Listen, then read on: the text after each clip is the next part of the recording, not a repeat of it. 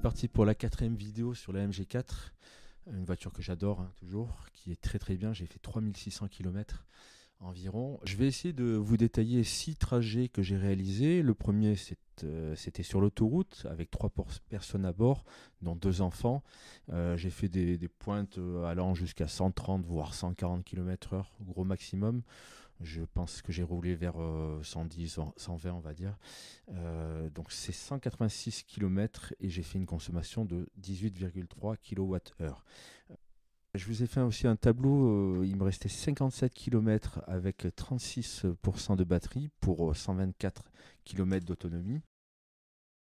Second trajet, j'ai fait 96,6 km pour une consommation à 14,3. Donc là, on redescend, c'est en mixte.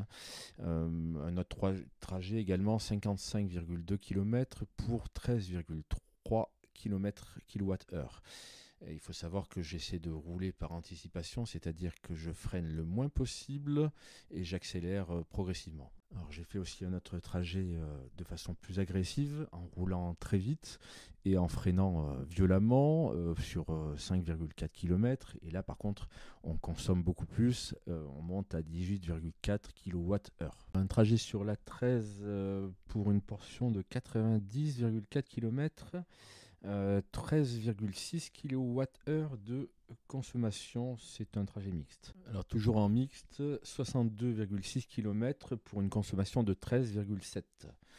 Et pour finir, 206,8 km parcourus pour une consommation de 13,8. Donc en conclusion, on consomme environ 14 kWh quand on conduit euh, raisonnablement et 18,8 euh, quand on conduit rapidement.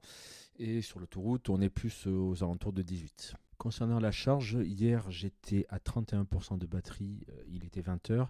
Ce matin j'étais à 80% à 7h, sachant que ça a dû s'arrêter avant j'imagine, et j'étais à 3,4 kW.